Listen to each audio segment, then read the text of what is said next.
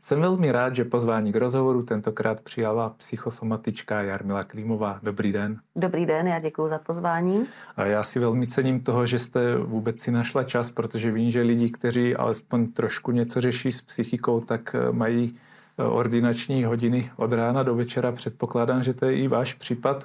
A o jednacích lhůtách vůbec nebudeme radši hovořit, ano. Paní Klímová, eh, mě velmi eh, zaujal váš přístup eh, jednotné medicíny. Řekněte nám tak ve zkratce, co ta jednotná medicína je. To je vlastně jakoby pojem, který já jsem jako vybrala, nebo mě napadl, abych, abych vyjádřila svoji tendenci ukotvit v pohledu na zdraví všechny možné terapeutické přístupy, které tady byly ať už tisíce let zpátky, nebo které nabízí současná moderní medicína a které by měly být, řekněme, ctěny eh, ve stejné vážnosti, jestliže víme, že opravdu svůj úzdravný proces je u nich dokázaný. Mm-hmm. A Jde o to možná, jak jsem, jak jsem k tomu došla. Já jsem vlastně eh, vystudovaný psychiatr že jo, a pak jsem se od té psychiatrie začala eh, postupně odklánět, protože mě to přišlo jako strašně úzký hmm. jako fokusování a samozřejmě ta psychiatrie pak už jako mi vůbec nedávala smysl, protože to začalo být jen, jenom o lécích, jak jako ta farmaceutická lobby jako vítězně postupovala. A Dostala jsem báječnou příležitost nakouknout do psychosomatiky. A před skoro 30 lety jsem vlastně jako jeden z prvních absolvovala tady psychosomatický výcvik Liberci a to mě naprosto nadchlo. Jsem říkala, no tak to je, to je přesně ono. To je jako, že tady nám jednoznačně předkládají to, že se nemůžeme odtrženě dívat na ty psychické jevy a na to, co se děje v tom těle, ale že pouze v součinnosti a v, jako v vzájemném pochopení toho, že jedno neustále jako ovlivňuje druhé, tak to léčení konečně dává smysl. Takže já jsem se vlastně pak jako začala ubírat tou psychosomatickou, tím psychosomatickým směrem, ale zase, čím díl v tom pokračujete, tak i tohle to vám začíná být těsnější. Jo? Ještě bych potřebovala k tomu něco dalšího. Ještě, ještě, ještě, ještě.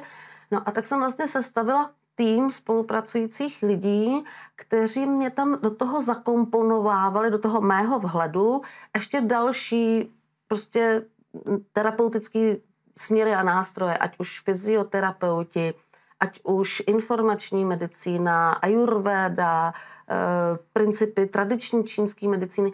A ono to všechno dávalo smysl. Mm-hmm. A já už jsem potom začala říkat, že jestliže člověk jako chce tuhle tu tenhle ten, řekněme, směr terapeutický uplatňovat, tak to vždycky jako musí být multioborová spolupráce, protože já nemůžu být perfektní odborník zároveň na ajurvédu, eh, homeopatii, autopatii, mm, čínskou... Ne, já potřebuju ty vhledy těch odborníků, kteří se prostě sejdou a dají dohromady takovým tím eklektickým modelem ten celkový vhled, jo? protože tadyhle z toho si můžu vzít. Tohle to tomu jinému klientovi to vyhovovat. Nebude, to tam budeme třeba zinklinovat zase k jiný a, a dostaneme vlastně ten, ten rámec toho, toho, té jednotné medicíny, eh, která vyzbírá všechno dostupné ve vzájemné kombinaci tak, aby tomu klientovi bylo skutečně pomoženo, aby se opravdu začal uzdravovat. Takže takhle vlastně postupně těmi léty já jsem dospěla k tomuhle z tomu konceptu, který mě jako vrcholně nějak jako dává smysl. A vlastně na základě toho jsem si i před dvěma lety otevřela školu jednotné medicíny a psychosomatiky. Teď už v té škole vstupujeme do třetího ročníku, a, takže to je, to je tříletý studium a pro toho, kdo bude mít zájem, tak se příští rok bude hmm. otevírat další běh. A to, co je pro mě jako moc eh, fajn, nebo respektive e, mi to dává jako velké zadosti učinění, že těm lidem to dává smysl. Hmm. Jo? Jak těm mým studentům, tak těm mým klientům. Říkají, no konečně jako já si před váma nepřipadám jako blázen, paní doktorko. Říkám, no to, to tady správně, že Právě sledujete zkrácenou verzi rozhovoru, celý pak najdete u nás na webu a odkaz na něj je zde pod videem. A nakolik je taková to cesta trnitá? Protože eh, vím, že pokud jde o tradiční čínskou medicínu, tak mm, jsou tady, nebo i byly tady tlaky Eh, ze strany třeba takových zastánců západní medicíny, kteří tu tradiční čínskou neuznávají, tak eh, jak z vašeho pohledu to prostředí v Česku, jak, jak jste se s tím musela nebo musíte probíjet?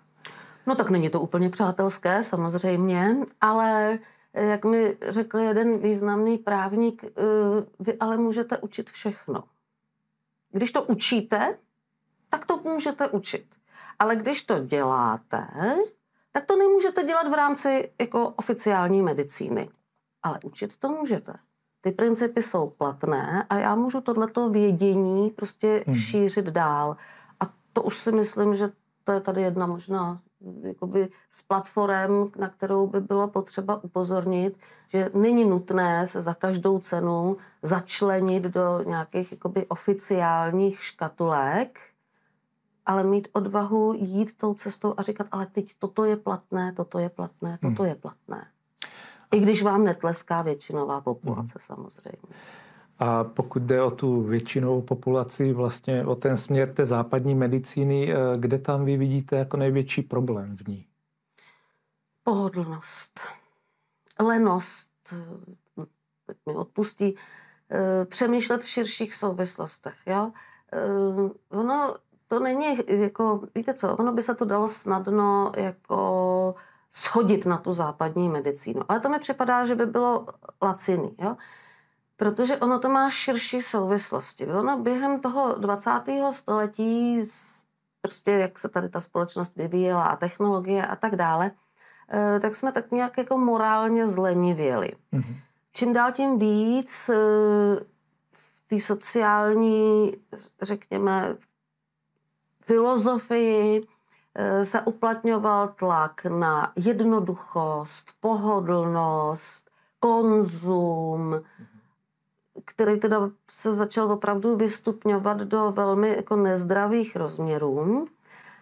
A když takhle vychováte jednu, dvě generace, že vlastně na všechno, že moderní je mít jednoduchá řešení, Eh, tak potom se nemůžete divit, že lidi chtějí tato jednoduchá řešení a ona v rámci takového toho té trochu jakoby povrchnosti, ona je ta západní medicína nabízí. Jo?